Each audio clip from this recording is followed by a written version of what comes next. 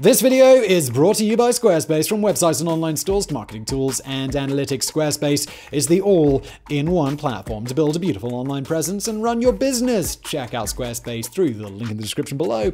Got more on them in just a bit.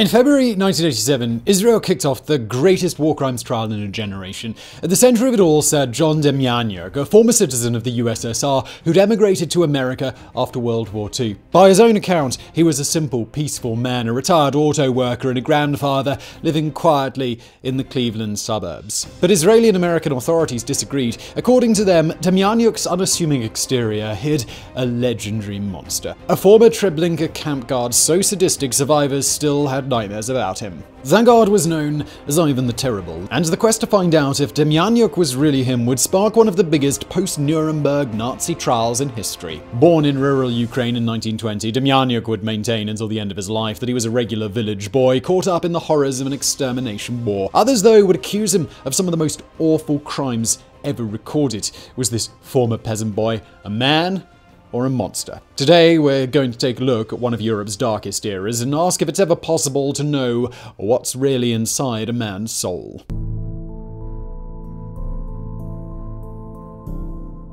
Amid the ever shifting narrative sands of John Demjanjuk's life, there are some hard facts both his supporters and accusers could agree on. He'd been born, Ivan Demjanjuk, on the 3rd of April 1920 in a miserable village in the Ukrainian countryside, a farming hamlet physically just 100 kilometers from Kiev, but in reality, was a lifetime away. His parents had both been disabled, requiring young Ivan to look after them, a struggle made harder by him only having four years of primary education. The last thing everyone agreed on was that he'd lived through some horrific times. When Ivan was just eight, the Soviet Union had instituted collectivization, a process of bringing villagers onto communal farms under state control. So when famine had broken out, people were reliant on the party to feed them. And in Ukraine, the party hadn't just abdicated its responsibilities, but used people's hunger as a weapon. The Holodomor was the deliberate genocidal starvation of Ukraine's presence. Lasting from 1932 to 1933, it devastated the countryside, killing 3 to 4 million people. Among the places affected was Demjanjuk's village, where people were reduced to eating weeds in an effort to survive. Yet the Holodomor was just the first disaster to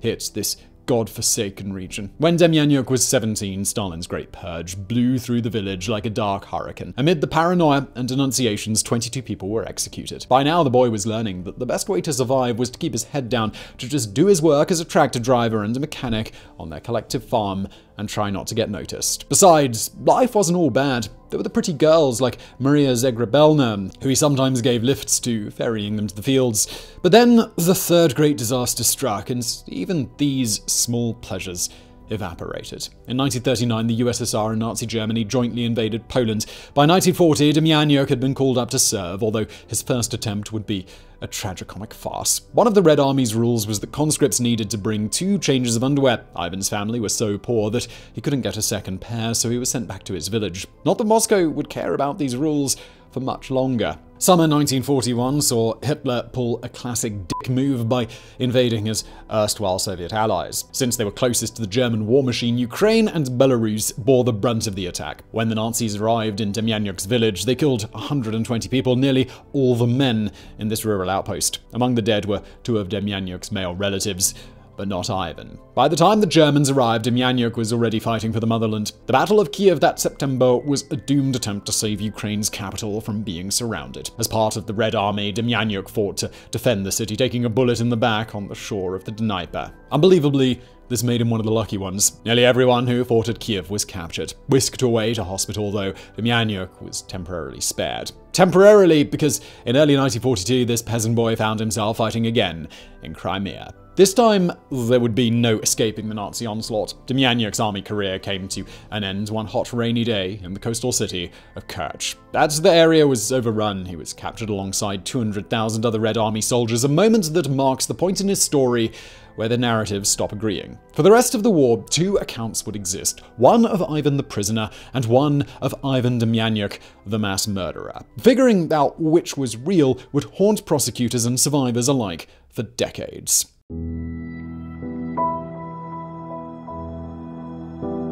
In Demjanjuk's telling, he spent the rest of the war in hell. While the Nazis treated British and American POWs with a modicum of respect, those captured from the Red Army had life expectancies on par with elderly mayflies. Of the 5.7 million Soviet army members taken prisoner by Germany, 3.3 million would perish from disease, starvation, execution, or being worked to death. That's 57% of all Soviet POWs. After Jews, Red Army soldiers were the second largest victim group of the Holocaust. In such an inferno, it's amazing Demjanjuk survived, fact that he never forgot. As he told it, he was interred first in a brutal POW camp near Chelm in Poland before being bounced to other camps where he was used as slave labor. By some miracle, he kept on living until 1945 when an American force finally liberated him. At least, that's one version of what happened. The story, let's say, of John Demjanjuk, village boy turned prisoner of war who'd later emigrate to the country that had saved him. But you already know there was another story, one written in the blood of thousands. That story we might call the tale of Ivan, the dark half Demjanjuk may be kept hidden for years, told decades later in court filings and prosecutors' notes. This is Ivan's story. Not long after being captured in Crimea in 1942, Ivan and Demjanjuk learned of a way to escape the POW camps. With a whole load of new territory to oversee, the Nazis were recruiting what they called auxiliary police guards, volunteers who'd become better known as Trawniki men after the camp where they were trained. Of the 5,000 plus Trawniki men trained, virtually all were Soviet POWs. They were also mostly sadists, anti Semites, or psychopaths out to save their own skins. Volunteering to become a Trawniki man didn't just mean taking on some light duties for extra rations, it meant actively taking part in the final solution. From their training camp, Trawniki men were dispatched to ghettos and extermination camps like Sobibor and Belzec, ordered to help mass murder Jews. Ivan, though, would be sent to one of the most notorious of all, Treblinka. After Auschwitz, no other Nazi camp killed so many Jews as Treblinka. Nearly 900,000 people, including thousands of Roma, died within its walls. Only 67 inmates are known to have survived. And Ivan would have the distinction of making this hell so, so much worse. Later described as a tall, powerfully built Ukrainian in his mid 20s, the Ivan of Treblinka was said to look remarkably like Ivan Demjanjuk. Like Demjanjuk, he had a simple, gentle air about him. Survivors remembered his kind blue eyes almost as much as they remembered his sadism. As Jewish victims were taken off the trains and herded naked to the gas chambers, Ivan would randomly pick out victims. Laughing and joking as he pulled them to one side, he'd gouge out eyes or chop off ears or noses with the sword that he carried. Other times, he'd beat people to death with a metal bar, or maybe lash out at the running crowd with his sword, seeing if he couldn't slice open a passing belly. This is just the stuff that we feel comfortable discussing, although we're not sure comfort is the right word here. There's eyewitness testimony of Ivan doing far, far worse things. Things will leave up to you to research by yourself if you want nightmares. Finally, once Treblinka's victims had been loaded into the 25 square meter gas chamber, Ivan, with his mechanic's knowledge of engines, would turn on the motor that pumped carbon monoxide inside. At the height of the Holocaust, he was capable of working so fast that some 3,000 could be exterminated in just 30 minutes. Perhaps it's little surprise that he soon earned his nickname, one that would become a stain on John Demjanjuk's fortunes in the decades to come Ivan Grozny, Russian for Ivan the Terrible. And just before we get into the rest of today's video, a quick word from today's wonderful sponsor, Squarespace. If you think about it, this really does seem to be the age of creation. Everyone is out there making a YouTube channel or a blog or a web store, stuff like that. You've either got a great idea yourself or you know someone who has one. And when it's time to move that project from your head onto the screen in front of you, that's where Squarespace comes in. Maybe you're the hands on type with lots of opinions and ideas about what exactly your website should look like. If so, very cool. Squarespace has all of the customization options that you could ever want, and there's no updates, no patches, no technical nonsense to complicate life. Or maybe you just need something functional, something that works with minimal thought. That's what I went for, so you can just focus on the content and not the coat of paint. In that case, pick one of their beautiful templates to make a website that is both fresh and simple, and also for you. And once you're done setting up the website, locking in the domain, maybe playing with some of the colors, there are so many extra features that Squarespace provides that your website can thrive. Email campaigns, patronage portals, social integrations, member-only areas, analytics, commercial options, 24-7 customer support, everything you need is in one place. So when you're ready to get started on the next project of yours, big or or small. If it involves a website, it's got to be with Squarespace. Right now, you can go to squarespace.com for a free trial, and when you're ready to launch your new site, go to squarespace.com forward slash biographics, and you will save 10% off your first purchase of a website or a domain. And now back to today's video.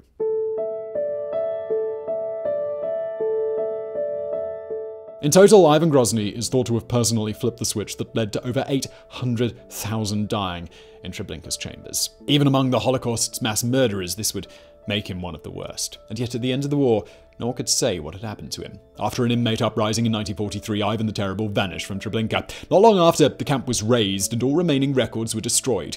It was this mystery, this void at the heart of Treblinka's story that would later cause the innocent Demjanjuk so much suffering. Or alternatively, it was this disappearing act that would allow Demjanjuk to escape justice for so long. 1945 at last saw the two broken threads of his story twine back together. The end of the war, everyone agrees, saw the one-time Ukrainian peasant living in a displaced persons camp in Germany. Like millions of others, Demjanjuk was waiting for the next chapter of his life to begin, the one that would hopefully take him far away from the European carnage. It would wind up being a hell of a wait. In the time it took for Demjanjuk's paperwork to be processed and his visa issued for immigration to the United States, he met and married Vera Bolochnik, and they had a daughter. It wasn't until 1952 that the family were given the all clear to move across the Atlantic, but move they did. Settling in Cleveland, Demjanjuk took a job as a mechanic for the Ford Motor Company. He and Vera had two more kids. In 1958, the former Ukrainian became a naturalized US citizen. To celebrate his new identity, he legally changed his name from Ivan to John. While it certainly helped him integrate, it maybe also helped the process of forgetting, of leaving behind all of the horrors that he'd seen in Europe. As John Demjanjuk lived out his own little slice of the American dream, and a dream is perhaps all it really was. He worked hard and went to church. On weekends, he helped mend his neighbors' cars or fixed up local kids' bikes. Where the family got a garden, he started growing vegetables. He was especially proud of his zucchinis. Perhaps as this blissfully dull existence drifted on, it began to seem like his wartime experiences were fading. That maybe what happened in Europe had been the dream all along, and this suburban life, right here, was the only reality that he had ever known. Sadly for Demjanjuk, though, that's not how others felt. Those who'd survived the Holocaust knew how very real that hell had been. And they wouldn't rest until justice was done to the perpetrators. The first big one to fall was Adolf Eichmann. Known as the architect of the Holocaust, Eichmann was captured by the Mossad in Argentina in 1960 and then placed on trial in Israel the following year. His execution was a warning to the war criminals still in hiding that the story wasn't over, that they were now being hunted. Yes, it was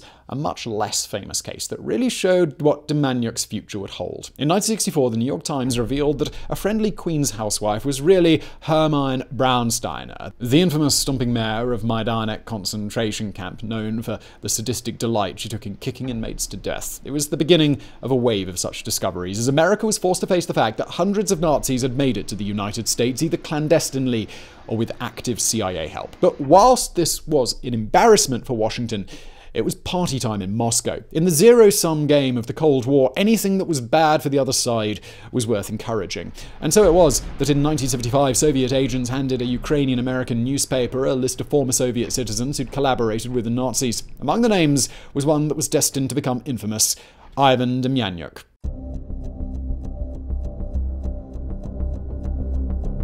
The case against Demjanjuk began slowly enough. At first, it was just an Immigration and Naturalization Service investigation, since Demjanjuk appeared to have lied on his paperwork about his Nazi connections. Evidence was soon found that placed him at the Sobibor extermination camp, one of the Trawniki men who guarded the Jews as they were herded to their deaths. At this point, the Department of Justice got involved and the case went crazy. When asked to identify collaborators from a set of photos, Jewish survivors picked out Demjanjuk, but they didn't place him at Sobibor. No, they said that this man had been at Treblinka. They'd recognize him anywhere, since they kept seeing his face in their nightmares. He was Ivan the Terrible. And so began the long, complex legal battle that would consume the rest of Demjanjuk's life. First, there was the case to strip him of his citizenship, initiated in 1977 and only ending in 1981 when his US passport was finally revoked. Then there was the series of lawsuits aimed at deporting him, at sending him back to Soviet Ukraine. But before he could be put on a plane, Israel intervened. If Demjanjuk really was the notorious Ivan Grozny, then they wanted to extradite him, to put him on trial, just as they had Eichmann, and yet more legal hearings were launched. Throughout it all, John Demjanjuk never swerved from his story that he'd been a prisoner of war, that he was an innocent, simple man who'd been mistaken for another. If he really was guilty, he told his son in law, the easiest thing to do would be to take a bottle of sleeping pills, will everything over to the family, save the family shame, and go to sleep forever. That he chose to keep on fighting, he explained, proved his innocence. The legal system disagreed. In February 1986, the Israeli extradition request was granted. Demjanjuk was put on a plane and told he faced the death penalty, a verdict reserved in Israel for war criminals and genocide perpetrators. The trial opened in Jerusalem on February 16, 1987. Like the Eichmann trial before it, the whole thing was televised. The result was likely some of the most harrowing footage ever broadcast. We won't go over the survivor testimony here, the recounting of the crimes Ivan Grozny committed in Treblinka. But we will note the way the witnesses consistently agreed on one important fact. The man sat before them was indeed the sadist who tortured and murdered so many. I see Ivan in front of me, one declared. Other evidence soon mounted up. An ID card from the Trawniki camp was supplied with the Soviet archives, one that showed Demjanjuk had been trained to help in the final solution. It wasn't him, Demjanjuk declared. The photo was a fake but experts proved otherwise. Then there was the tattoo. In 1942, the SS started tattooing members with their blood type. Demjanjuk had scars on his left arm, exactly where that tattoo should have been, as if it desperately tried to remove it. Still, the defense, under Israeli attorney Yoram Sheftel, did its best. The Trawniki camp ID was real, they contended, but it proved Demjanjuk had been at the Sobibor extermination camp, not Treblinka. The plan was to effectively prove Demjanjuk was a collaborator, but not Ivan the Terrible with just a single charge against him of physically pressing the switch that flooded the chambers with carbon monoxide, proving he was a different camp guard would at least spare him the death penalty. In the end, though, Demjanjuk forced them to drop the tactic. He was an innocent man, he kept repeating, as if he wanted it on the record. The trial ended on February the 18th, 1988. The verdict was guilty. On April the 25th, John Demjanjuk was sentenced to death by hanging in what would have been only the second civil execution Israel ever carried out. But note the hypothetical there. Would have been. Because Demjanjuk would never feel the noose around his neck, never be cremated and, like Adolf Eichmann, have his ashes scattered at sea. Instead, events in Europe were about to upend geopolitics, and one small side effect would be Demjanjuk leaving Israel a free man.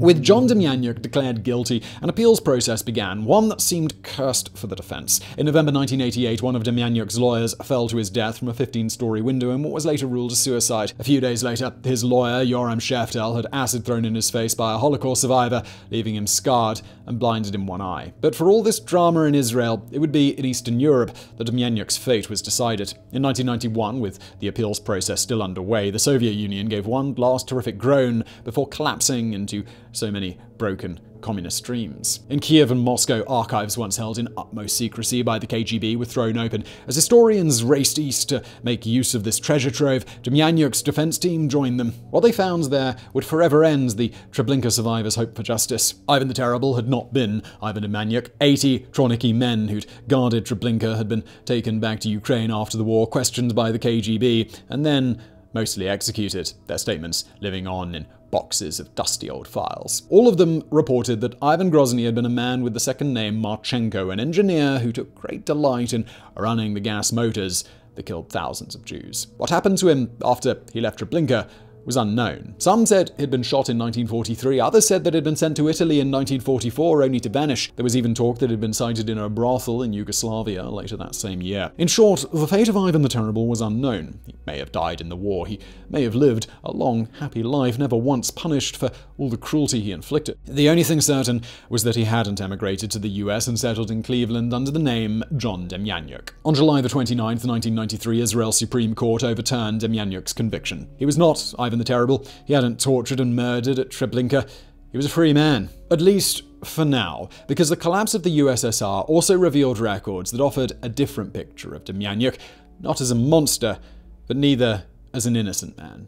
Found in Moscow, the confiscated internal documents of Trawniki camp finally offered a detailed picture of what Demjanjuk had done after being captured in Crimea. Like Ivan Marchenko, he'd volunteered to help the Germans. Like Marchenko, he'd been trained up as a Trawniki man. And like Marchenko, he'd been sent to ply his trade in an extermination camp. Rather than Treblinka, it had been Sobibor, and there was no evidence Demjanjuk had committed the vile, stomach-churning acts Ivan Grozny had. What there was evidence for, though, was Demjanjuk as auxiliary number 1393, helping herd tens of thousands of Jews into the gas chambers. There had been no excess torture, no sword, no cutting off noses. No, just the knowledge that he was leading untold innocents to certain death, and that he'd happily traded all their lives to improve his own chance of survival. Although Israel could have tried him again for being at Sobibor, the government declined. In 1993, Demjanjuk returned to the USA, but with something like the truth now out there, there would be no welcome home party. Although evidence of misconduct by the DOJ's Office of Special Investigations saw Demjanjuk's US citizenship restored, the examination of his past didn't end. By 1999, the DOJ had evidence of Demjanjuk helping perpetrate the Holocaust not just at Sobibor, but also at Majdanek and Flossenburg. In 2002, his citizenship was again revoked. Three years later, the deportation order came through. At last, in 2008, Germany declared it wanted to extradite him. There would be one final trial for Demjanjuk. And this time, he would have to answer for the crimes he really committed.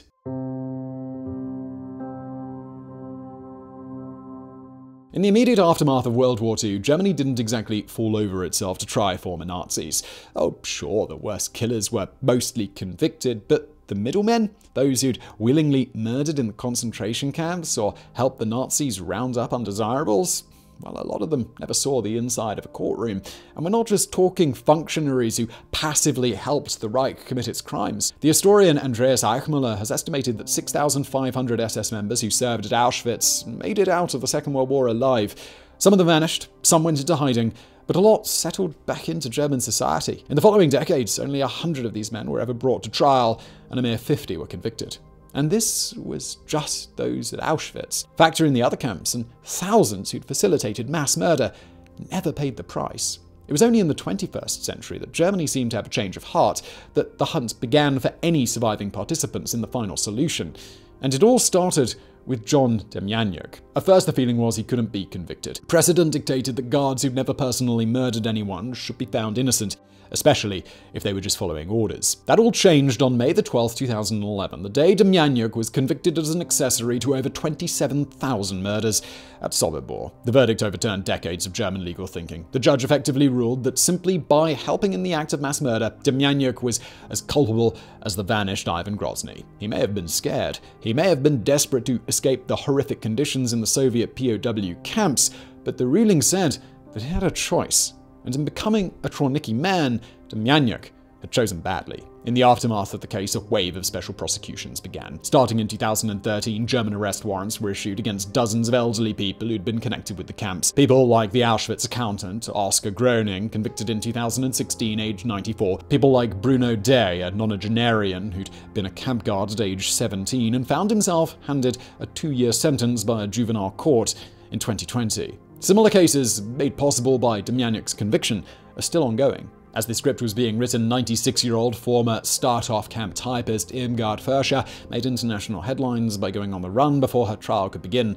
Her case is just one of 10 still making their way through the German legal system. Not that John Demjanjuk would see any of this. The former Sobibor camp guard died in a German nursing home on March 17, 2012 age 91. Because his appeals had not yet been exhausted, he technically remains innocent under German law. Today, it's widely accepted that Demjanjuk was not Ivan the Terrible, but just a low-level traitor, a man who volunteered to help kill Jews to save his own skin, and was never able to escape the consequences of that terrible decision. For some survivors, his eventual conviction was a source of comfort, acknowledgement that without these willing low-level operatives, the Holocaust could never have been as awful as it was. For others, though, the saga of Demjanjuk only dredged up horrific memories, acting as little more than a reminder that the real Ivan the Terrible never faced justice for his crimes. In a way, this paradox is the heart of Demjanjuk's story. He was an awful man, but there were worse. Karma caught up with him, but others got away. In the end, maybe all we can say is that John Demjanjuk's story is one that shows the trauma of Europe's 20th century, of a boy who suffered, then grew up to pass that suffering on to others in the worst way possible. He may not have been Ivan the Terrible, but Demjanjuk was a guilty man. Whether he got the punishment he deserved or whether justice was really done is up to each of us to decide. So I hope you found that video interesting. If you did, please do hit that like button below. Don't forget to subscribe. And as always, thank you for watching.